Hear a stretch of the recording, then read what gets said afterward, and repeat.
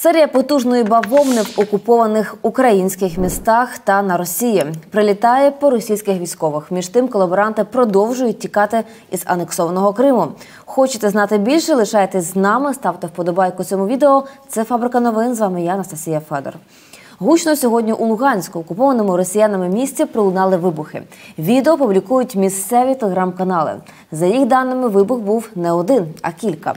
Поки очевидці повідомляють про приліт у район Луганського автомобільного ринку, російські пропагандисти пишуть, що доблісне ППО нібито збило британські ракети Storm Shadow. Але дим від прильоту дає більше розуміння ситуації, аніж брехня так званих воєнкорів РФ. До слова, за непідтвердженими даними, удар нанесли по асфальтному заводу.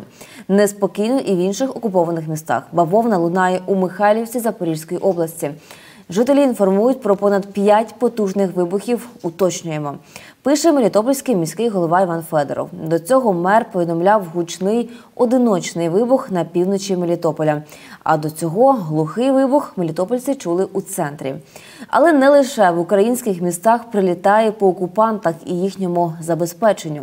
Так, потужні вибухи пролунали сьогодні у населеному пункті Глушково Курської області. Як повідомили тамтешні телеграм-канали, прилетіло у будівлю місцевого МВС. Постраждалих нібито немає. Ось що сказав тамтешний губернатор. Глушково за утро зафиксировано 12 прилетов, повреждено около 10 жилых домов. В одном из них разрушения значительные. Несколько административных зданий, два автомобиля. Снаряд также попал в кинотеатр. Кінець цитати. Прилетіло і в Тьоткіно Курської області. Місцеві змі пишуть, що вибухи пошкодили 9 будинків, два із них спалахнули. Також атака пошкодила газо та електропостачання і автомобіль. Про постраждалих не повідомляється. Горить палає і в Краснодарі. Щоправда, безпілотники там не літали сьогодні, але може диверсанти попрацювали. Це лише мої здогадки. Давайте до фактів.